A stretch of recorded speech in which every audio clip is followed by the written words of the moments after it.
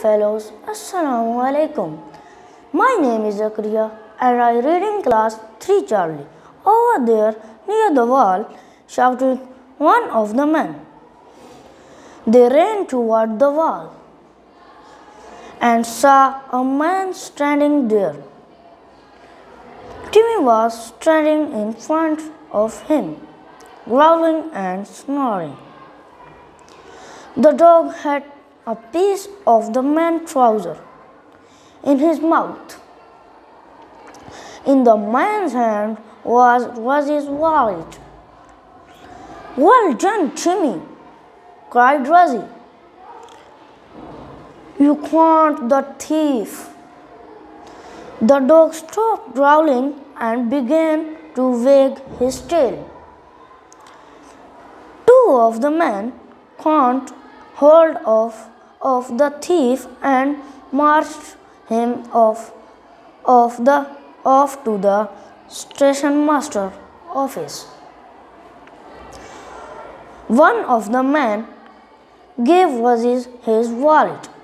He was light, but then he remembered the train.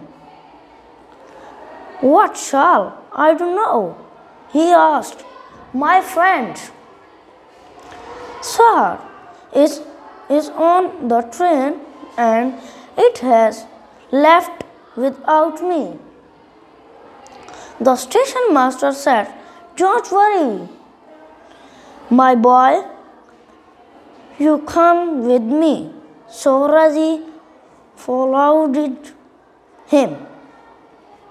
When, when they reached the platform, there was the train, and there was Sahar standing on the platform, surrounded, surrounded to him. Sahar, Sahar, Sahar, Sahar! He shouted, I thought, thought the train and left without me. I pulled the chain to stop the train, said Sahar, the ongoing driver, driver brought the train back. The boys and all the all the other messengers boarded the train again the train again.